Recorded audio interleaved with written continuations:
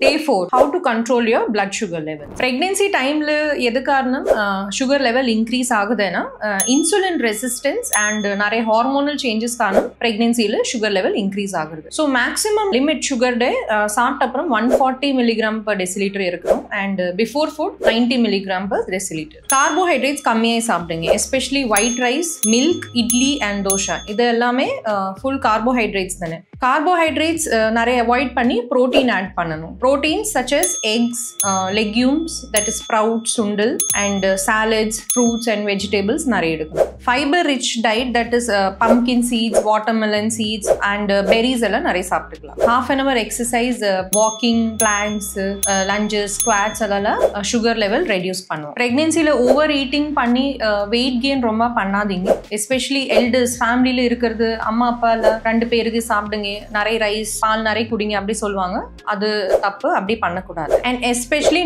no to junk food